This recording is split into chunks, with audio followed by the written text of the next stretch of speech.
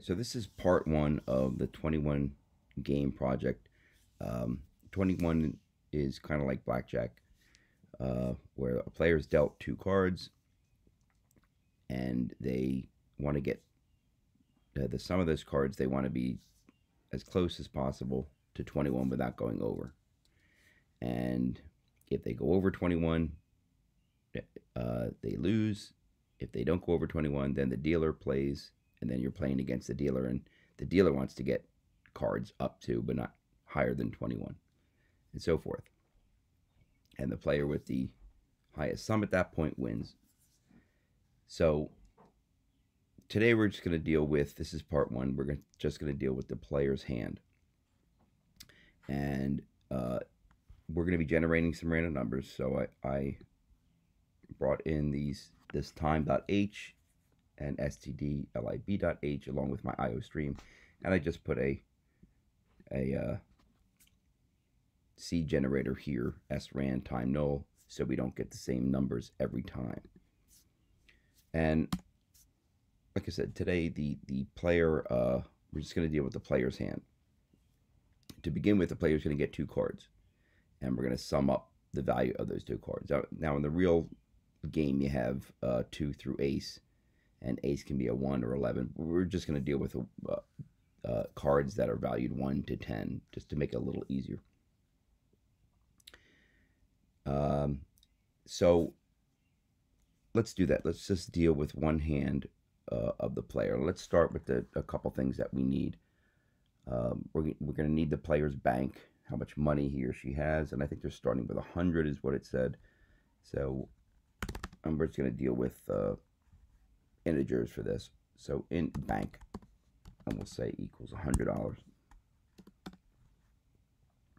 Um, the player is going to be given chances to hit or stand. Um, after the player gets dealt two cards and it's summed up, he can either, uh, if he's comfortable with that number, for example, if he gets 17 or 18, he may not want to get another card because it's risky to go over 21. Um, but if he gets a low number, you know, like 5 or 8, whatever, 12, he or she might want to um, hit, which means get another card added to that sum and uh, you're risking going over 21. But you can do that as much as you want until you go over 21, at which point you lose. Um, or you can just stand at whatever number you want, and then the dealer plays, and whoever has the higher number at that point wins. Uh, so we need, we're going to be asking the person if they want to hit or stand. At that point, they're going to put an H in for a hit or S for a stand, so we need a character and we'll call it uh, we'll call it I for input. And let's see, we need a int for the player sum.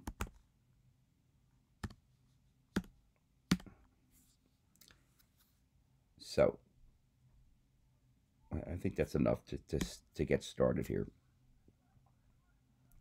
So again, let's let's not worry about the game looping over and over. Let's just deal with the player getting um, his hands, his cards, and ask him if, if he or she wants to hit or stand and go from there. And part two, we'll deal with the dealer tomorrow.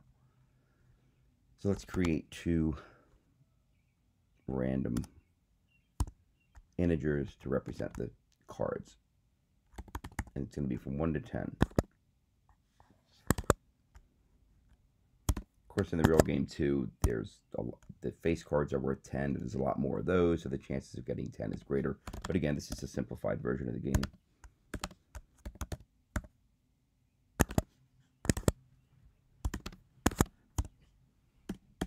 All right, so I have my cards, and we're going to say p sum equals c1 plus c2. So the player has their first two cards. And they're going to make a decision. Do they want to stand and risk whatever they're at against the dealer? Or they can they can get more uh, another card and add it to that sum. So we want to cout. Would you like to hit? We'll put an H in there or stand. and if they want to stand, they'll put the an S. And we want to cin I. Now, again, they might not, we don't know how many times they're going to want to hit, get a card. They can get a card over and over again. So we know we're going to loop something. We don't know how many times we're going to loop. Let's do a while loop. So while C, while I equals the character H.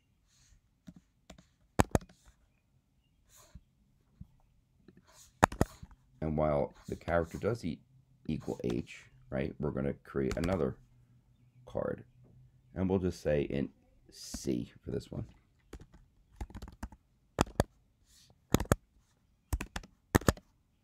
Number from 1 to 10.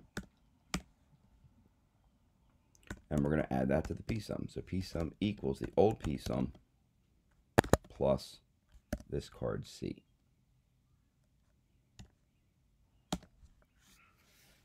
All right, so we don't want to ask the player to hit or stand yet because if they get more than 21 at this point, right, we're not going to, they're going to lose. So we want to check if P sum is greater than 21, right, we're going to break immediately. And actually we can say you lose. Okay because they, they lose right away if they you lost right and according to this a hand is worth 10 bucks. So if they lost we're going to take money from the bank. We're going to say bank equals bank minus 10 right? They lost 10 bucks. And we're going to break out of this loop right? The break statement breaks out of the out of this loop right here because we don't want to continue right? And if not right we're going to ask again would you like to hit or stand can copy this line.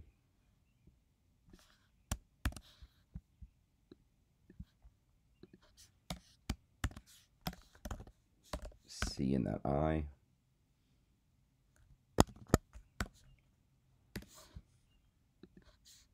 And there we go. And we can also let them know, cout. Your sum is p sum. Your sum is p sum. And actually, we probably want to write that here, right here. cout. your sum is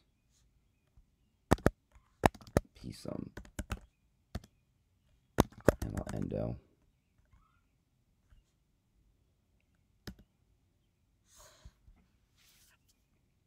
Because the player's going to want to know what the sum is without having to do it in his mind every time.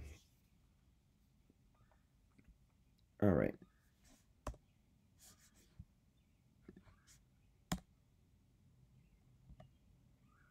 So, um, the player has their hand. They either lost at this point or they're ready to play the dealer after this. And what we can do now is say if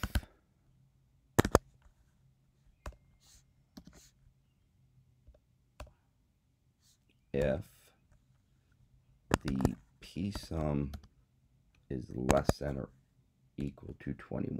Right? We don't want to have the dealer play if they don't have to. In other words, if the player lost by getting over 21, the player, the dealer doesn't even have to play. So we're only going to have the dealer play if, I'm going to put some inline comments here. Um, dealer plays if players and is less than or equal to 21.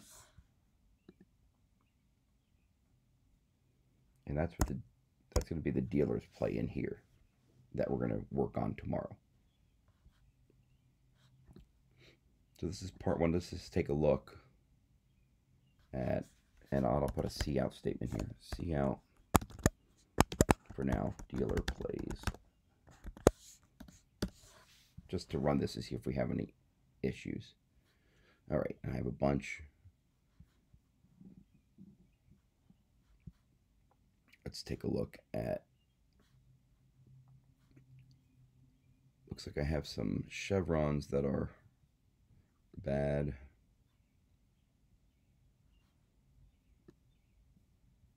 Usually when you get a ton of errors like this, you have chevrons.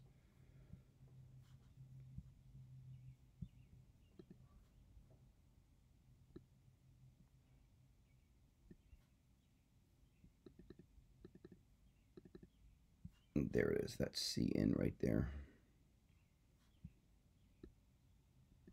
this guy.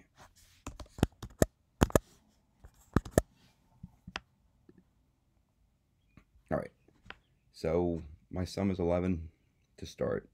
And that's pretty good number to hit on. Let's put a question mark in here. So I'm going to put H.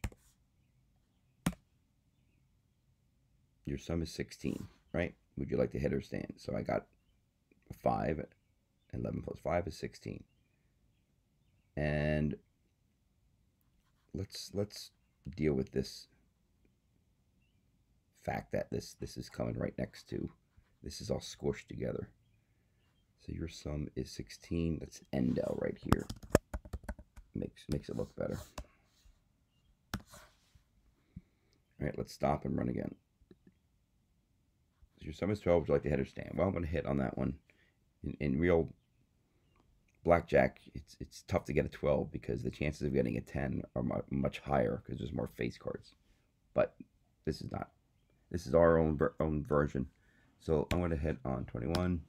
Your sum is 21. Now, in real life, I want to stand because that's a good number to have. So I'm going to put S stand, and it should say dealer plays good. So we're good in that situation let's make it so we lose. That we go over 21. So I'm going to hit. Sum is 9, hit. Sum is 15, hit. Sum is 19. Uh, 19 is a good number to stand on, but I want to make sure that, that my loss works. Your sum is 28, so I lost, and that's good. And uh, we probably want to output the money that the person has, but we can do that later. So we're good. We're good with the with the player's hand. Tomorrow we'll do part two, and that's going to be dealing with the uh, with the dealer's hand.